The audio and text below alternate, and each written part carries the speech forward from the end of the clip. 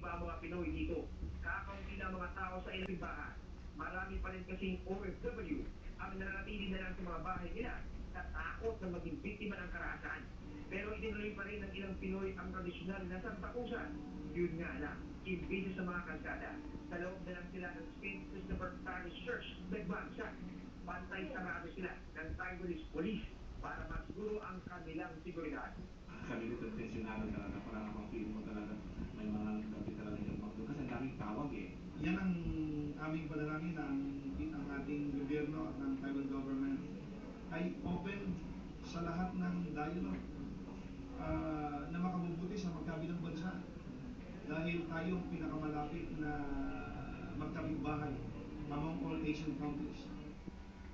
Para mapawi naman ang tensyon, nagsama-sama ang ilang Taiwanese NGOs at namigay ng mahigit isang daang libreng lunch pack sa OFWs kanina. Nagsagawa pa sila ng programa at nakipagkantahan sa mga Pinoy. let the past in the past and looking forward, move forward, we work together. Mula rito sa Taipei, Taiwan,